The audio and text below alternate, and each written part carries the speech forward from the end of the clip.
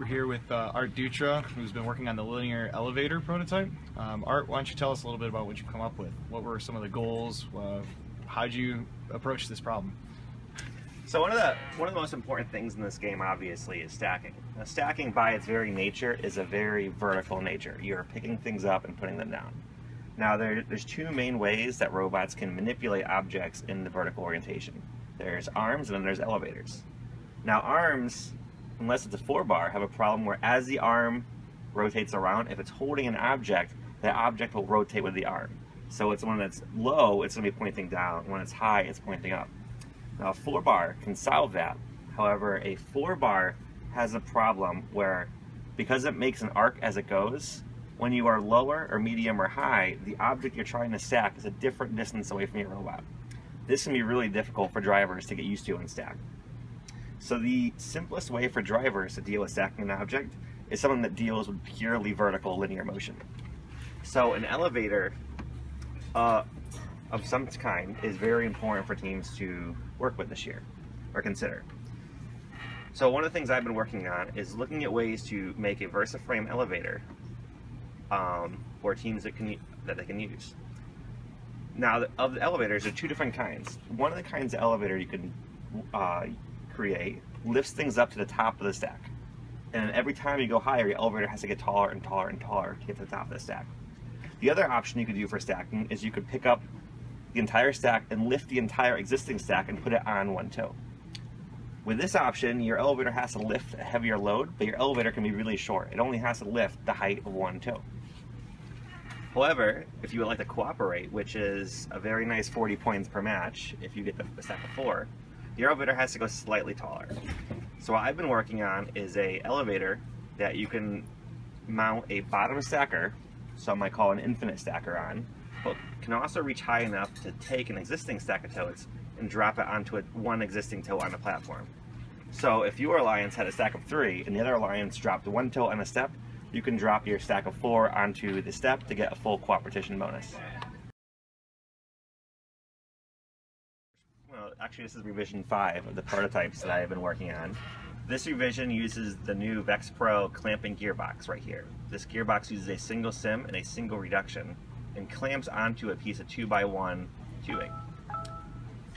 What I'm doing here is I'm also using a new product, the plastic VersaBlock from Vex Pro, which is a more lightweight version of the metal VersaBlock that we've had from West Coast Products last year.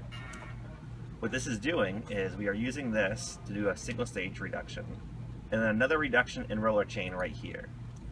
And then this roller chain is on the same shaft here, which has this big loop. This loop has a carriage that can move. This carriage is bolted to the roller chain. You can actually put bolts through roller chain to attach a mechanism to it. I'm using 35 pitch roller chain this year because teams, it's, it's much easier for teams to work with 35 pitch chain than 25 pitch chain. With 25 pitch chain, you would have to use 440 screws. With 35 pitch chain, you can use 832 screws to attach through it. And with, if you're potentially lifting a stack of six bins and a garbage can, that's almost 60 pounds you have to deal with. So it's very important this year that you try to make your robots very reliable and very robust. So, as you, can you can you go into a little more detail, maybe um, on the? It looks like the track mechanism looks pretty interesting. Are those spacers riding up and down the rail, or how's that? Yeah. So on the track mechanism, what we have here, the main uh, rotary, I mean linear to rotary motion, is these bearings. So these bearings are very similar to what some might call the cheesy poof elevator. The bearings run along the outside of the tubing, and that is what creates a nice smooth ride as you go up and down the elevator. So there's bearings on the outside, there's bearings on the inside, and then there's bearings on the other side as well back here. Now, there's two towers. So because you have a C on each side, and because we have these crossbars on our to be determined manipulator of our choice, this ties the two sides together. So this entire carriage will go up and down on the elevator. It's just like a roller coaster track. Yes. Wheels on each side. Yeah, so this is fully captured. This yeah. cannot fall off the elevator. Um, and the, the, other thing that I've shown here, it's not necessarily required, but in my experience, I've found it's very helpful for elevators when you're dealing with very heavy objects such as a stack of bins. Is I have a loop of chain on each side. This this is what ha- this helps. Sometimes if you only have an elevator, you're only powered on one side. When you try lifting up, the whole thing kind of gets a little crooked. So when you're dealing with light objects such as you know tubes from 2011, which is the last time that many teams used elevators, it was you could power off one side because tubes are very light. But with stack of bins, you don't you want to make sure you don't have that rocking motion. So that's why I'm powering both sides of the elevator with chain. So it looks like this is made almost entirely out of uh, VersaFrame and other VexPro gearboxes and motors, but I see a couple brackets on the side there that aren't in the current VersaFrame library. Can you talk about those? That's true.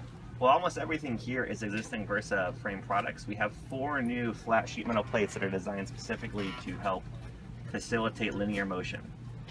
We have one plate here which you can mount bearings to on either side to roll along the outside of 2x1 tubing. We have another bracket here designed to mount bearings to run along the inside of a 2x1 tubing. We have this plate here which is designed for 3 8 inch spacing here so that you can put bolts through roller chain and attach that to your elevator to transfer the torque from your motors to actually lift the elevator stage. And then to help make it easier to bolt onto the chain, we have a plate here which is wider than the roller chain itself to ensure that your bolts stay per perpendicular to the roller chain. That's awesome. And will these uh, be included in the VersaFrame lineup in the near, the near future? We will be prototyping these parts tomorrow, and we, if everything goes well, which we expect, then teams can likely have these for this year. Awesome. Thank you so much, Art.